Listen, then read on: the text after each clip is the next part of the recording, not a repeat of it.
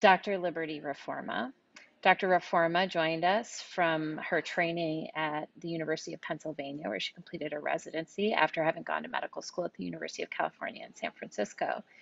And she's going to tell us a bit about fetal growth restriction. As many of you may know, um, SMFM has recently put out a um, document with some stand in an attempt to standardize definitions of fetal growth restriction and potentially even some of the management. So Liberty is going to update us on those um, new developments and how to interpret um, the reports that you're getting from us these days. So Dr. Reforma, take it away. Thank you. Thanks, Chloe.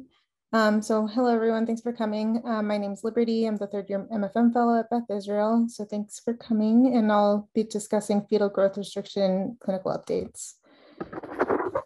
Disclosures. One of the reasons for this talk today, like Chloe said, is to dive into what's new in the diagnosis and management of fetal growth restriction. And you might have noticed that in 2020, SMFM came out with new guidelines that expanded the definition of fetal growth restriction. And BIDMC implemented these changes in an updated PPGD in March of 2021. so the objectives of this talk are to review epidemiology, definitions, and etiology of fetal growth restriction, and to understand the emerging literature on the diagnosis um, and management of fetal growth restriction. To reach these objectives, we'll go over definitions and terminology, classification and etiology, and management. So first, I'll start with a case. Patient HR is a 30-year-old G2P1001 with an EDD of 102821 by good dating. Her prenatal care was notable for a low risk early risk assessment, normal nuchal translucency, and negative carrier screening. Her OB history is notable for one prior uncomplicated full-term vaginal delivery. She's a former smoker and fortunately quit at the beginning of her pregnancy. She did have mild COVID in May of 2021, and she also has ADD. Um, she was taking prenatals and Colace and stopped Adderall at the beginning of her pregnancy. She was referred to us when at her um, full fetal survey at 21 weeks and four days, a growth lag was noted. Um, the abdominal circumference and femur um, were lagging by two to three weeks. And echogenic bowel was also noted. She underwent an MFM consult given this early onset growth restriction and was referred to BIDMC for genetic counseling. And as I measured, mentioned before, she had a low risk ERA. Um, and after counseling, she opted for NIPT, which was also low risk. Um, at BIDMC, she underwent a scan and no echogenic bowel was noted. Biometry was lagging again. Um, and so uh, I'll pause here and return to this case as we talk about management of fetal growth restriction, but I just wanted to introduce that and we'll go through it later. So fetal growth restriction occurs in 10% of pregnancies. The stillbirth rate in this population is 1.5%. And the figure on the right shows that peri shows perinatal morbidity and mortality in neonates with low birth weights. And the x-axis is birth weight percentile and the y-axis is neonatal morbidity. You can see that perinatal morbidity and mortality increase markedly as birth weight falls from the 10th percentile to the first percentile. And to further illustrate this, an infant with a weight of 2,200 grams at 37 weeks has a greater morbidity and mortality risk than one born of the same weight at 34 weeks. So moving on to terminology and definitions. You may hear that fetal growth, you may hear fetal growth restriction and small for gestational age being used as interchangeable terms, but they're not the same thing. FGR describes a fetus with an estimated fetal weight or EFW below the 10th percentile, And SGA describes a newborn whose weight is less than the 10th percentile for gestational age at time of delivery. And these percentiles are determined using different growth charts. So fetuses with FGR are not always SGA at birth, and SGA neonates are often not diagnosed as FGR in prenatal ultrasound. And so our goal would be to identify all SGA fetuses prenatally since morbidity has increased in this population. Estimated fetal weight is calculated using fetal biometric measurements, and these include head circumference, biparietal diameter, abdominal circumference, and femur length.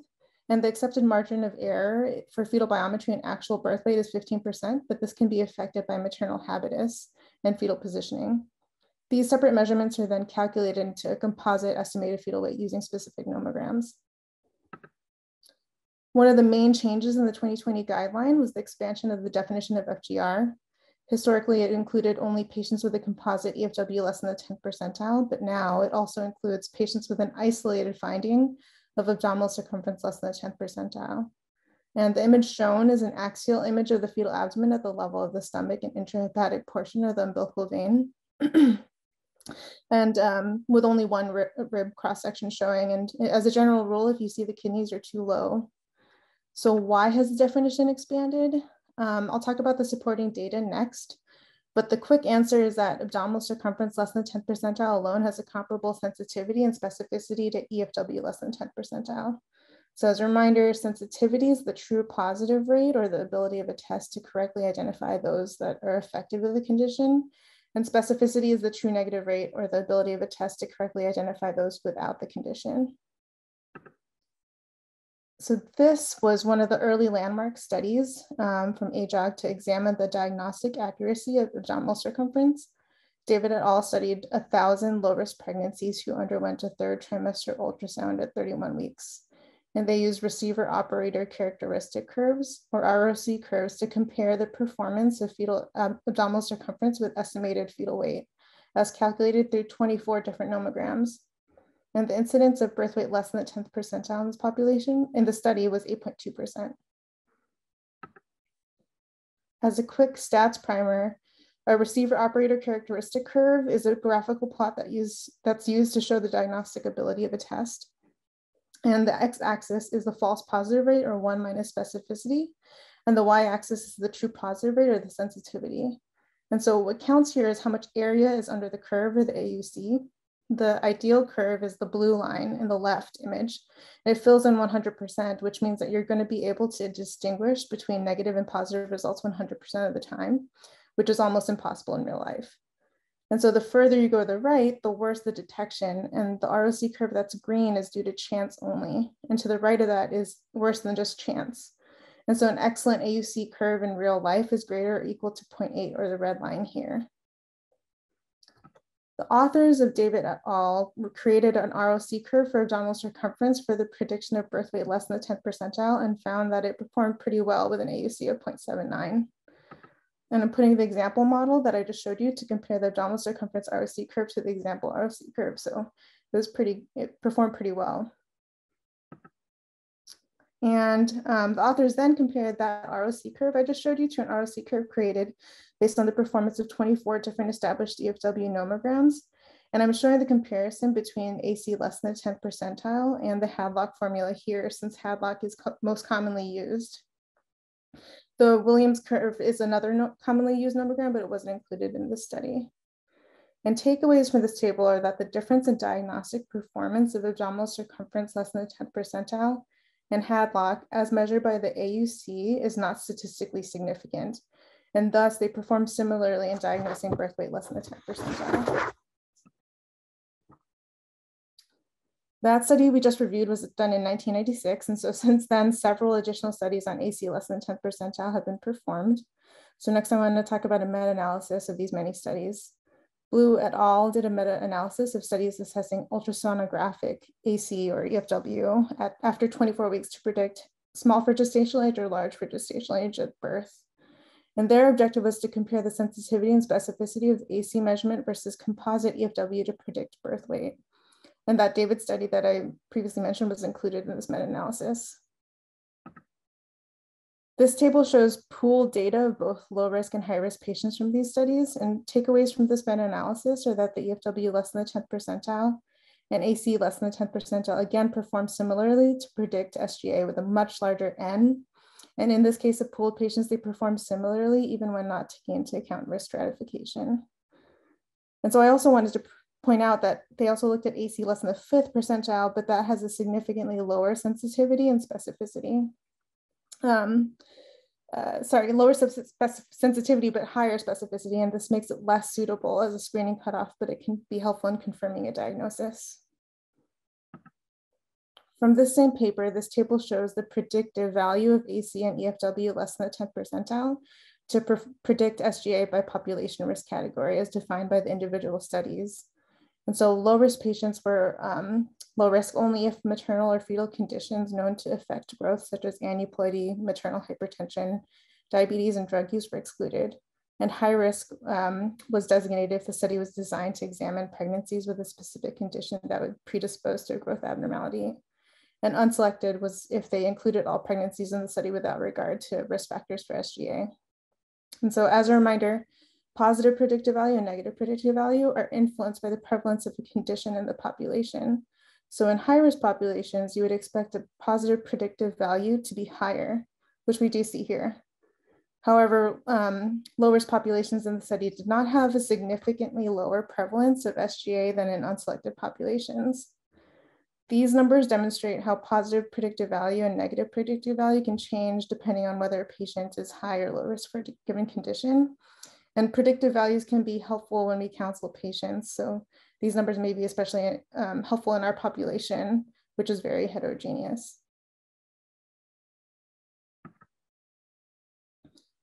And the last study on abdominal circumference that I'll talk about is another meta-analysis that came out in 2020.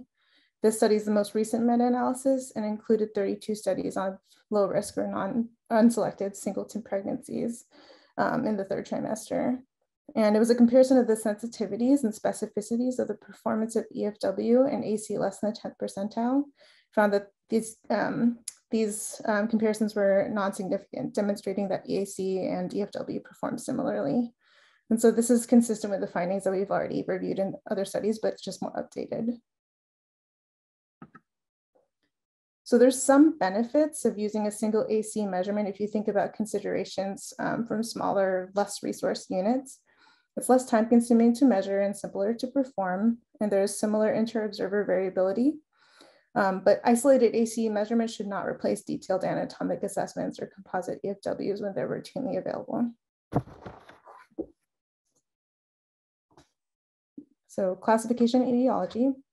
Um, fetal growth restriction can be classified into early onset or less than 32 weeks at initial diagnosis, or late onset, which is greater than or equal to 32 weeks at initial diagnosis. And late onset constitute the majority of cases.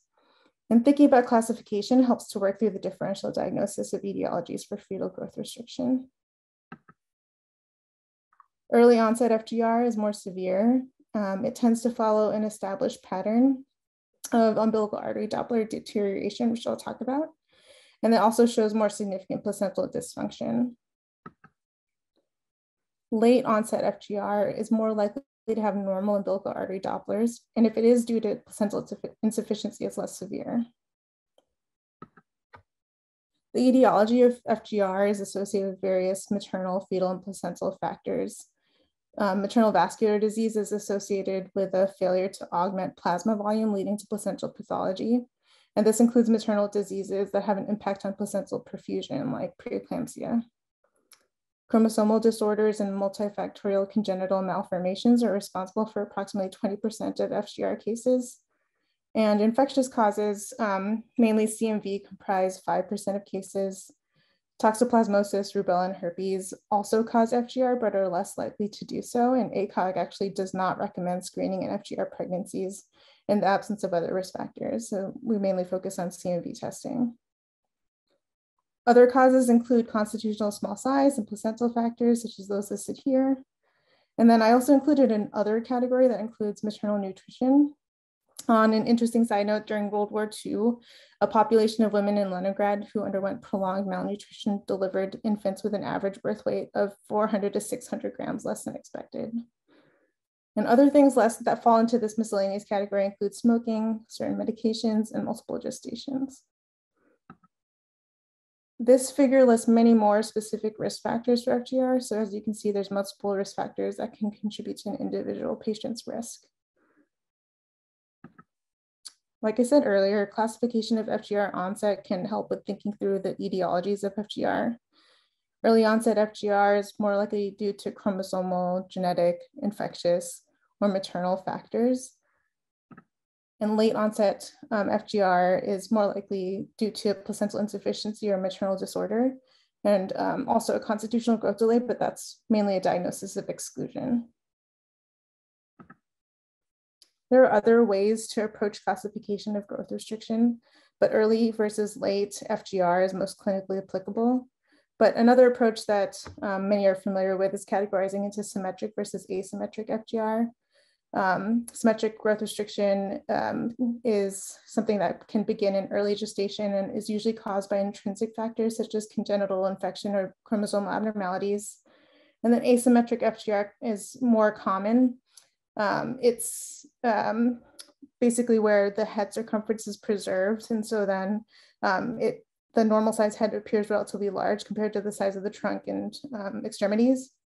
And it typically begins in the late second or third trimester. And this is more likely due to placental insufficiency. Now moving on to management. Once an FGR diagnosis is identified, it's important to confirm good pregnancy dating to make sure that the EDD is reliable. And for any new diagnosis, a patient should then be scheduled for fetal surveillance with weekly umbilical artery Dopplers and I'll get to the specifics of this in our PPGD in a little bit.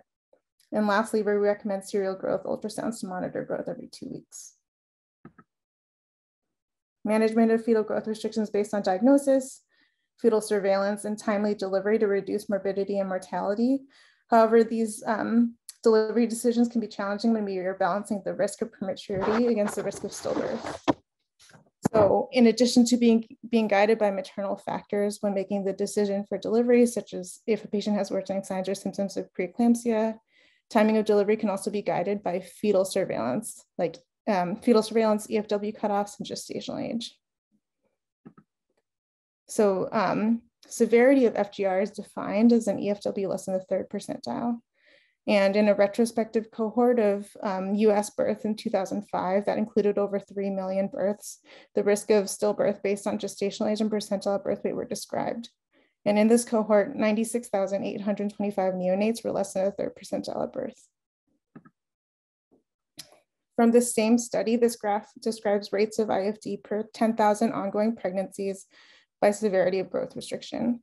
And the x-axis is gestational age and the y-axis is the rate of IUFD per 10,000 pregnancies. And it divided all the pregnancies that were complicated by IUFD um, by EFW percentile, as you can see in the legend, and the less than the third percentiles in the lime green. Normally grown fetuses defined as greater than the 10th percentile at birth are described in the purple line. And then in all cohorts, the risk uh, for fetal death in FGR pregnancies was greater at all gestational ages than for non-FGR pregnancies. But EFW less than a third percentile had a much greater probability of IFD with each advancing week of gestation. So as you can see, the rate of IFD is three times higher than the other percentiles. Of note, the threshold for severity of FGR is defined by lagging AC is not yet well described. Um, so that's an area of future research.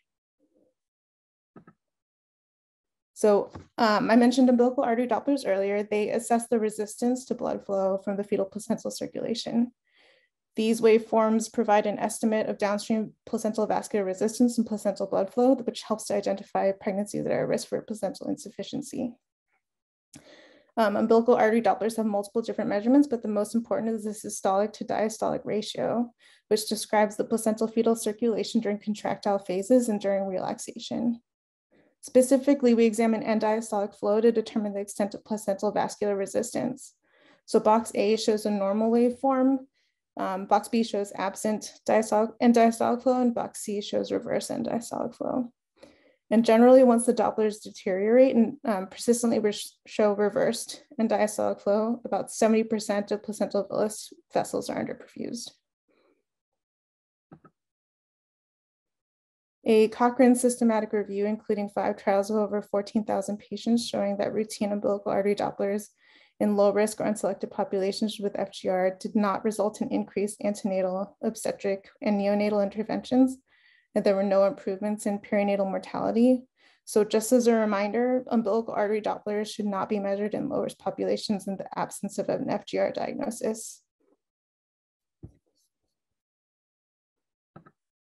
But umbilical artery Dopplers do help us distinguish between constitutionally small fetuses and truly growth restricted fetuses affected by placental insufficiency. So using umbilical artery Dopplers in the surveillance of FGR helps to reduce rates of induction of labor and cesarean delivery and reduces the risk of um, perinatal death. There are other um, Doppler measurements that you may hear about, but SMFM doesn't recommend them for routine use in the management of fetal growth restriction as they're not as beneficial as umbilical artery Dopplers um, in improving outcomes. So these are ductus venosus Dopplers, middle cerebral artery Dopplers, and uterine artery Dopplers. One of the other approach, approaches to management of, of, FGR that seems like common sense is that there's specific guidelines for the management of abnormal surveillance. And this common sense is rooted in data from landmark articles. So the Truffle trial is a prospective, multi-centered, unblinded management trial in 20 European tertiary care centers presented in 2005 to 2010. And it was created to evaluate a standardized approach to the care and delivery of, of pregnancies complicated by FGR. And then the GRIT study evaluated outcomes when non-standard antenatal surveillance and delivery decisions were performed in FGR pregnancies. So the Truffle study was uh, included 503 patients with known FGR, and they were randomized into different management groups for delivery timing. So group one was uh, when delivery was based on tracing alone, specifically minimal variability. Group two was based on elevated ductus venosus Dopplers, and group three was based on later ductus venosus Doppler changes, such as absent or negative A wave. And delivery could also be undertaken based on maternal indication or other tracing abnormalities. And their primary outcome was fetal or postnatal death or severe neonatal morbidities. And so briefly, the outcome was 69% survival without um, severe morbidity. And in a follow-up study, there are more neurologically intact two-year-old babies um, in the late Doppler changes group and this was an example of a high risk group being managed according to more formalized protocols than what was standard at the time. And in the GRIT study, 548 patients at 24 to 36 weeks from 69 hospitals in Europe from 1996 to 2002 with FGR and abnormal Dopplers were included. In these cases, there was clinical uncertainty about whether immediate delivery was indicated and patients were randomly allocated to immediate versus early delivery with a um, median of 0.9 days from randomization or later delivery based on provider discretion, which is a median of 4.9 days from randomization. There was no standardized surveillance and the outcome was neonatal morbidity and mortality. And interestingly, there were similar rates of neonatal morbidity and mortality between the immediate and delivered group, excuse me, the immediate and deferred delivery groups. And there was no difference in two-year or school age rates of neurodevelopmental disability. And so the lack of difference in mortality in the study suggests that using non-standard approaches perhaps allowed providers to be potentially delivering sick preterm babies too early without any clinical benefit.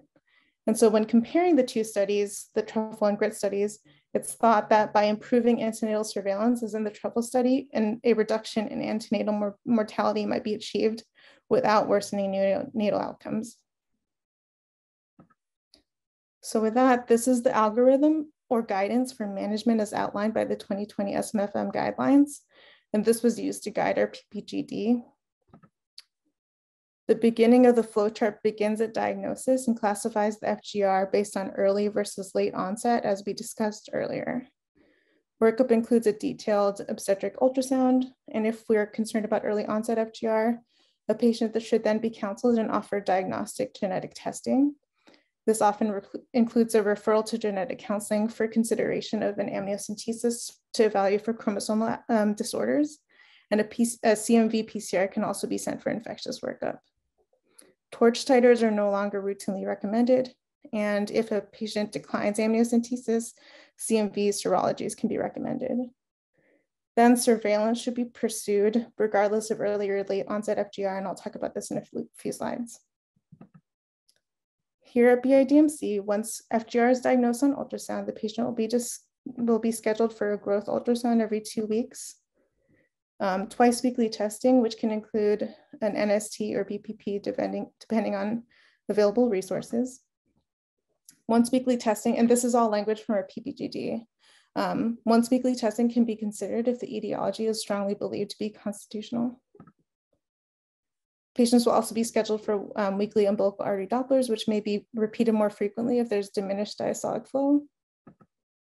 And then if absent or reverse diastolic flow develops, um, it's recommended to involve MFM as more frequent testing is needed and delivery timing will be individualized.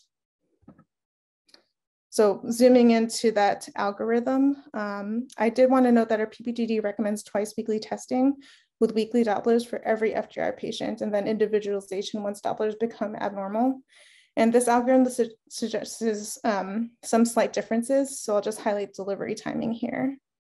With normal umbilical artery Dopplers or an SD ratio less than or equal to 95%, if the EFW is greater than the third percentile, um, but less than the 10th percentile, then delivery is recommended at 38 to 39 weeks. If EFW is less than third percentile or severe FGR with normal Dopplers, delivery is recommended at 37 weeks. If there's decreased end diastolic flow, delivery is recommended at 37 weeks.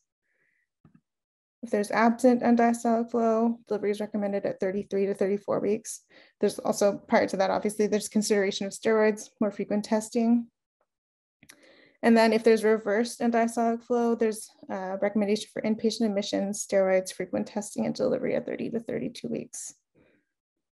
I'm just bringing this slide back up to highlight our PPGD language specifically, um, as it really does become quite individualized as um, things progress.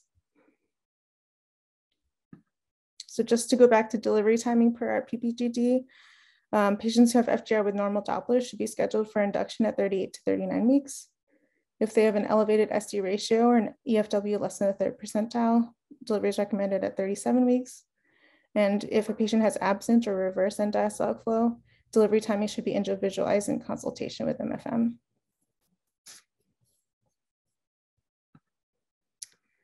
So back to the case, um, the patient and her husband were counseled on the findings of early onset um, FGR 21 weeks and opted to undergo amniocentesis. Um, the amnio results showed a fish and karyotype of a normal male 46XY with normal, normal chromosomal microarray and negative CMV PCR. She continued her prenatal care at the outside hospital and continued to get serial growth scans. And at 25 weeks, it was noted that she, the fetus remained small, but then also had intermittent absent and diastolic flow. So at that time, she was referred to BIDMC for betamethasone and inpatient admission, just given um, these findings, as well as the extreme early gestational age. And so at BI, she had her ultrasound repeated with similar findings, again, finding intermittent reverse and diastolic flow. She received betamethasone and continued monitoring on admission. Um, once that was reassuring, she remained admitted and got BID um, twice a day NSTs. Um, she was also evaluated for preeclampsia, of which there was no evidence. And then she received rescue betamethasone um, at uh, a few weeks later. she continued to be monitored um, and got um, twice weekly or twice weekly testing with weekly Dopplers. At one point, she had an elevated SD ratio.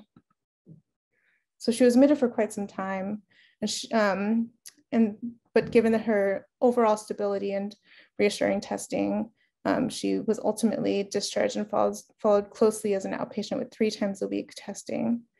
And um, fortunately, she made it to 34 to 35 weeks because at her 34 weeks and six day scan, the fetus was still measuring less than the first percentile, but a new finding of absent flow on the umbilical artery Dopplers um, was noted. So given this change, she was recommended for delivery via C-section given her severe FGR and absent flow on umbilical artery Dopplers. She had uncomplicated um, cesarean delivery at 35 weeks. APGARs were five and eight with a neonate measuring 20, 12, 20 grams um, and he still remains admitted to the NICU. Her placental pathology showed a small placenta, 322 grams, less than the 10th percentile. There was villous infarction, which constituted 10% of the parenchyma and um, showed uh, accelerated maturation. Umbilical cord with hypercoiling. And so um, the pathology just noted that the findings suggested maternal vascular malperfusion, which supports placental insufficiency as the ultimate um, etiology. And so this was an interesting case of a very early onset FGR um, fetus that underwent, um, where the patient underwent extensive workup and ultimately delivery timing was individualized, the patient's course progressed. And so we thought it'd be interesting to note that since the implementation of the FGR PPGD stating these new definitions, we calculated the number of Dopplers performed at CMFM. These numbers haven't been recently updated, but just to note, we um, performed 537 Dopplers during fetal surveillance from March to June. Um, this is an increase from $231 performed from December to the end of February, and the new PPGD was instituted in March. Um, of course, there's confounding that exists with these numbers because everyone knows that overall volume increased during the summer months, but I don't have data to tell us how many pregnancies undergoing surveillance for FGR were ultimately diagnosed as FG SGA at birth, but that would be interesting to further explore. And in terms of FGR prevention, uh, many interventions have been studied, but none of these interventions have been shown to improve outcomes. And I'll talk a little bit about aspirin. I've outlined two meta-analyses of RCTs on the prevention of preeclampsia and FGR, and both are pooled meta-analyses of low-risk women. And there's some modest risk reduction, especially when used less than 16 weeks. But as we know, low-dose aspirin can be used to decrease the risk of preeclampsia among women with risk factors.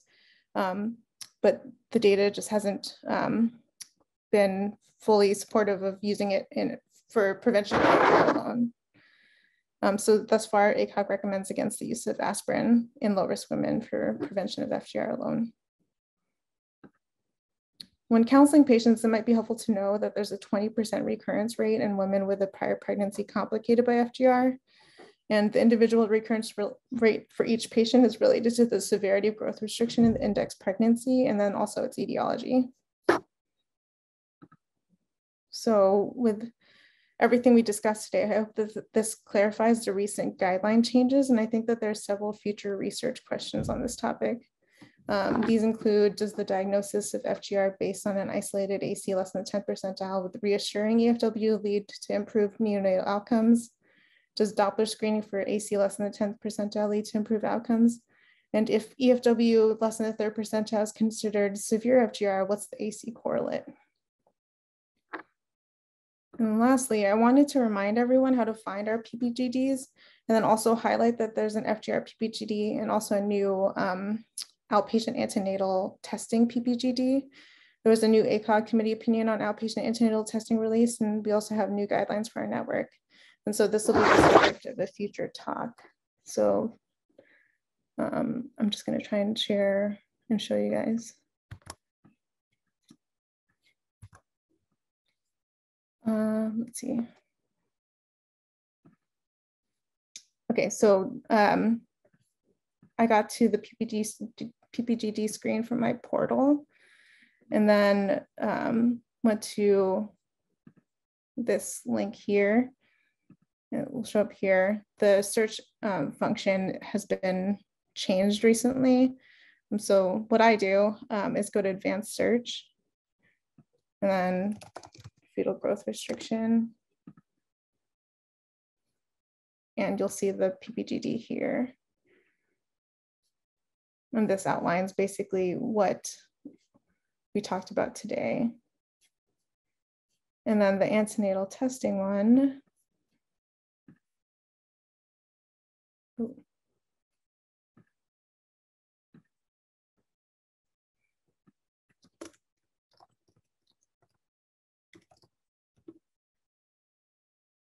antenatal fetal surveillance guideline. Um, this was created by um, Dr. Duffy and Dr. Sudoff. And so this was based off of uh, the new ACOG committee opinion. And at the top is on fetal growth restriction, since that was a change as well. And so um, this can be a useful resource for things that come up with your patients. Um, but this was just, I just wanted to highlight that since it was just released last month.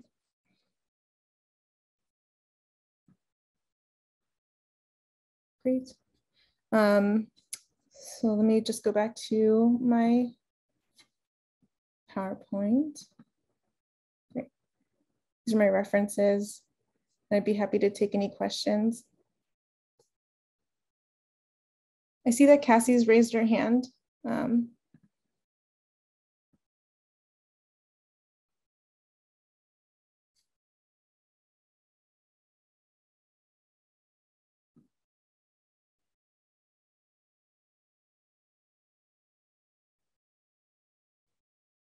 Cassie, did you have a question?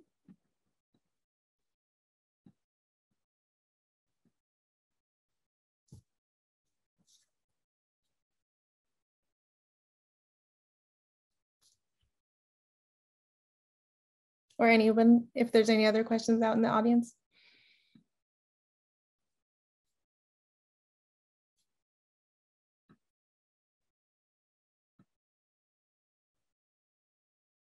Oh, I see a question from um, Bridget. Um, the patient case, she underwent cesarean. Would you ever consider induction for early onset growth restriction with any kind of abnormal Doppler? Um, so that patient was actually offered induction because um, she had otherwise reassuring testing and she declined. But in general, I think I would have a very low threshold to uh, just go for a, a recommended cesarean delivery. Um, I think that would be like a very individualized discussion, um, but because most of the time these patients don't tolerate, or the fetuses don't tolerate induction. And there is data that shows that um, an oxytocin um, contraction stress test prior to induction can help delineate which patients might be, um, which fetuses might tolerate labor more. So usually we start with an OCT and then go from there. But in that particular case, the patient, um, the patient declined.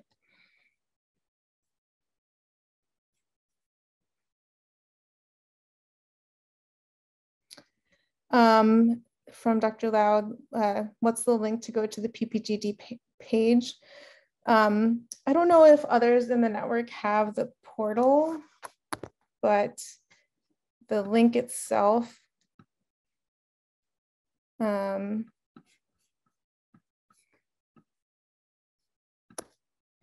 I'll put it in the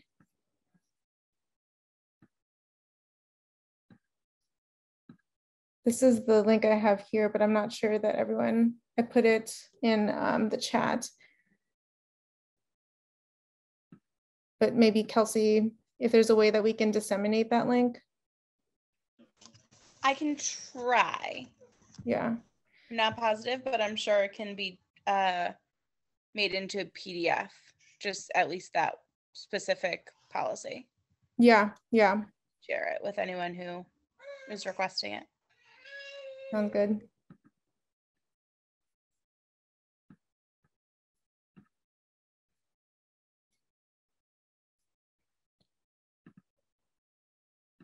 Other questions? Thanks, everyone. I appreciate your time. Feel free to email if any questions come up. All right. Thank you.